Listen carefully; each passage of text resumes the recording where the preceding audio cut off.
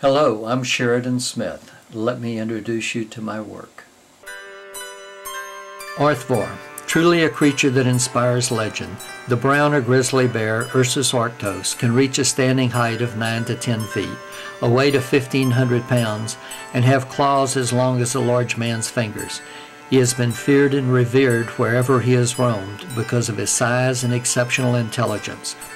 In some groups of people, the animal was held with such awe that to speak his name was forbidden. He was simply called the Brown One.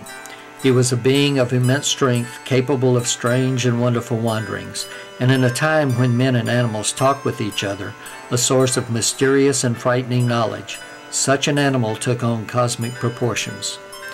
Arth Var is this cosmic bear. This is the legendary bear who for a thousand generations fought Draco, the dragon in the sky, for domination of the North Star. This is an actual astronomical event that lasted about 23,000 years. Now the cosmic bear will spend a thousand generations chasing the dragon away. Arth Var begins the chase, and this bronze bear sculpture tries to capture the mystery of this magnificent animal. This sculpture, along with other Celtic artwork and jewelry, can be found at www.smsmith.com.